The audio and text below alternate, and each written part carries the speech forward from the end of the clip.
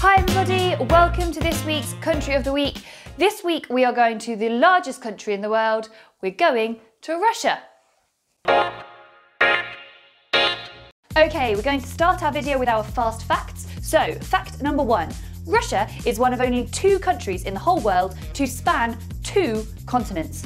Part of it is in Europe and part of it is in Asia. Fact number two, Russia is the largest country in the world and it spans 11 time zones and 17,125,200 kilometres squared. Wow. Fact number three. The capital of Russia is in the European part of Russia. It is called Moscow. Fact number four. The official language of Russia is Russian, but there are 35 other official languages in particular parts of the country. Fact number five, the flag of Russia looks like this. Now, as we've said, Russia is a huge country with so many different landscapes and cities to explore. We can't visit everywhere, so we'll just pick a few as we go on tour. Okay, we're going to start our tour in the northwest of European Russia, in a city called St. Petersburg. St. Petersburg used to be the capital of Russia, and it is famous for its culture, its art galleries, its museums, and its theatres. St. Petersburg has always been such an important city in the country of Russia that it's actually been renamed three times. Right, from the old capital to the current capital, we are going to head south to Moscow. Moscow is famous for its beautiful buildings and historic architecture. For example, this building is the Kremlin, which is where the government sits in Moscow. Did you know that living in Moscow today, there are 73 billionaires and the city is home to one of the world's most expensive shopping streets? Okay, we're now going to head 1,600 kilometres south of Moscow, bypassing many big cities, such a big country, until we arrive at the city of Sochi. Sochi is fringed by the Caucasus Mountains on one side and the Black Sea on the other. It's a very popular place to go on holiday both in summer and in winter. And in 2014, it hosted the Winter Olympic Games. Inland and north we go to a city called Kazan. Kazan is famous again for some beautiful buildings and lots of history. In particular, it's home to the Kul Sharif Mosque. When this was built, it was one of the biggest mosques in the whole of Europe. Right, now we are going to travel deep into the heart of a huge part of Russia. This place is called Siberia and it covers 13.1 million square kilometres of Russia. It's no wonder then that it's got lots of different landscapes within it. You will find tundra, forests, huge mountain ranges, and the world's deepest lake, Lake Baikal. Even though Siberia is so big, there are so few people who live here that if you spread everybody out, there would only be three people per every square kilometre.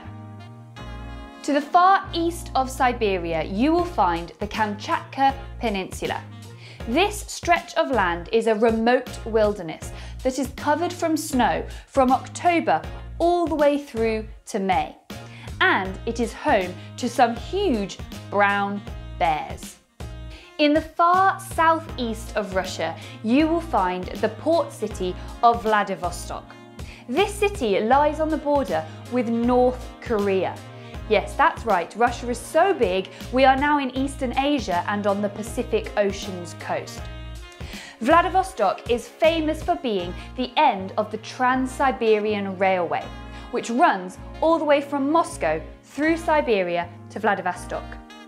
It is also particularly famous for being a centre for education in Eastern Russia and is home to lots of universities, colleges and scientific institutes.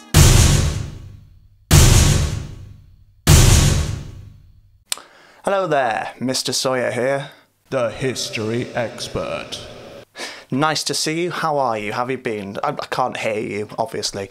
Um, I'm going to tell you the history of Russia now, and I'm going to do so in 60 seconds or fewer. Less, fewer. It's complicated. Russia comes from the Rus Vikings, who ruled an early Russian kingdom called Kievan Rus. The capital is located in Kiev, which is in modern day Ukraine. In 1237, the Mongols arrived and destroyed many of the Russian cities. Much of the area was ruled by the Mongols for over 200 years when in 1480 Ivan III finally freed Russia. His grandson Ivan the Terrible became the first Tsar, or Emperor, of Russia in 1547. Peter the Great, brilliant name, established St. Petersburg, also brilliant name, in 1703, and it became the capital city ten years later. The empire continued to expand over the next few hundred years, absorbing areas around it. In 1917, as Russia was fighting in the First World War, the Bolshevik Revolution abolished the monarchy and set up a new communist system, the Union of Soviet and Socialist Republics, or USSR. They had a fierce rivalry with the USA during what is known as the Cold War and had some pretty nasty rulers in their time, most infamous of whom was Joseph Stalin. Ah. We've had lots of brilliant facts all about Russia so far in this week's Country of the Week. Now it's time for 5 fun facts all about Russia. There are 79 billionaires that live in the capital of Russia which is Moscow, like you've already learned. And until two years ago, Moscow was the city with the most billionaires. But in 2020, New York City overtook Moscow. I wonder how many billionaires live in Birmingham. Happy birthday. Thank you, everyone. Thank you. Thank you. Very kind. Very kind. Oh, how embarrassing. Thanks. Thank you, everyone. Except it's really not my birthday. It's, it's not my birthday. You're too early. And that reminds me, in Russia, they believe if you say happy birthday before someone's birthday, it's not only extremely rude, but you are also giving that person bad luck. So make sure you always give your birthday cards on the actual day or even later is better than earlier.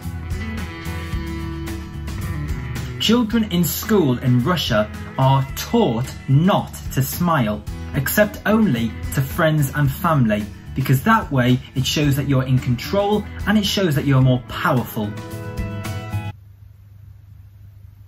But don't get confused, Russian people are actually really friendly, even if they don't smile. There are 12 active volcanoes in Russia and that means any of those volcanoes could erupt at any moment. A volcano known as is one of the largest in the whole of Eurasia and it has erupted 50 times in the last 200 years. When I um, when I played, did it, did it look like that I was saying that on camera? Yeah? Okay, cool. I mentioned earlier that 79 billionaires live in Moscow, the capital of Russia. And there's a game that they've invented called Helicopter Golf, where the player not only drives the helicopter, but also knocks a one meter wide ball over the snowy hills and into a hole. It looks like a really fun sport to play. Now all I need to do is find a friend who has a helicopter so I can play that game. So there you have it. There are your five fun facts all about Russia for this week. Join me next time for some interesting and bizarre facts about another country. See you next time.